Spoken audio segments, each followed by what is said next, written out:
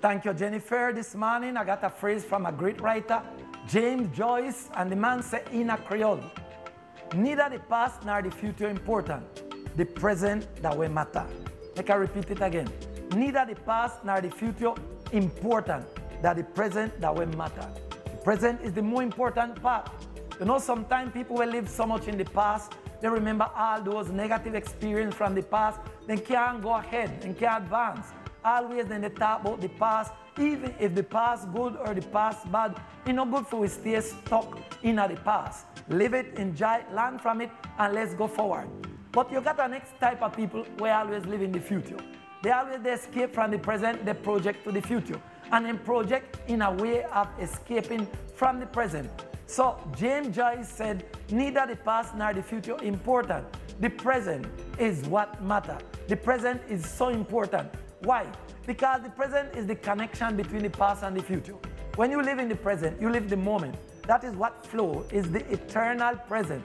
After all, you no got no control upon the past. What don't happen, don't happen. What coming, you no control it neither. The only thing you got in your hand, that the present. To live, as a beautiful hymn said, one day at a time. Live today. Do what you have to do today. Dedicate yourself, enjoy today. You don't know what's coming tomorrow. But remember, tomorrow depends on the way you live today. That's why James Joyce, and totally agree with this phrase. Neither the past nor the future is so important. Because when you give it so much importance, you lost the present. You make the present escape from you, and the past will be one eternal frustration, deception, disappointment. But when you learn to live the present, when you learn to live the now, right now, you're going to see how life becomes sweet, different. You're going to enjoy every minute and you're going to pass it the best you can today. I repeat it again. Neither the past nor the future is important. At least it's not so much important. The present is what matters. Make we learn to live the moment, one day at a time.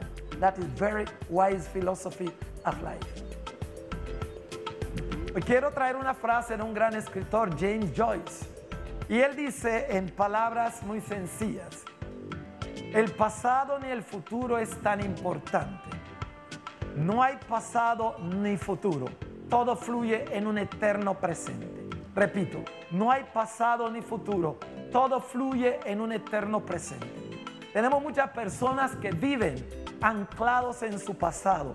Normalmente en psicología, cuando una persona tiene mucho pasado en su mente, tiende a sufrir depresión, porque ciertamente retiene sobre todo las experiencias negativas del pasado.